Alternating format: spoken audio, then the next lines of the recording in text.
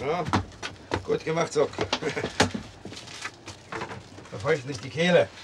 Ich hätte gerne gewusst, Herr Inspektor, ob es bei den alten Abmachungen bleibt. Selbstverständlich. Das heißt, es ist sehr fraglich, ob wir uns noch ein Mädchen leisten können, Ferdinand. Ich spreche nicht von Ihrem Dienstmädchen. Ich spreche von Ihrer zukünftigen Schwiegertochter, Frau Beuger.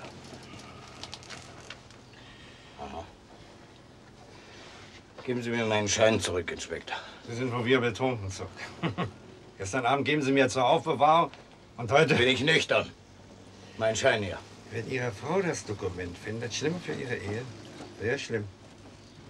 Dann vertrauen Sie doch meinem ehrlichen Gesicht. Mein Schein zurück! Nee. Hm? So Geschreie! Scheinen Sie ruhig, Frau Brücker. Vielleicht hört Sie der Russe. Geben schon. Den würde hier manches interessieren. Geben schon. Geben Her damit.